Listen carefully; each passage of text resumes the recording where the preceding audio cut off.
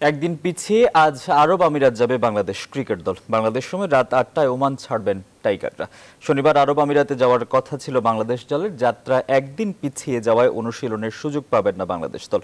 সরাসরি বারো তারিখ শ্রীলঙ্কার বিপক্ষে প্রস্তুতি ম্যাচ খেলবে দলটি। শ্রীলঙ্কার বিপক্ষে প্রস্তুতি ম্যাচ শেষে তেরো অক্টোবর আবার অনুশীলনের পর চোদ্দ তারিখ দ্বিতীয় শেষ প্রস্তুতি ম্যাচে বাংলাদেশের প্রতিপক্ষ আয়ারল্যান্ড।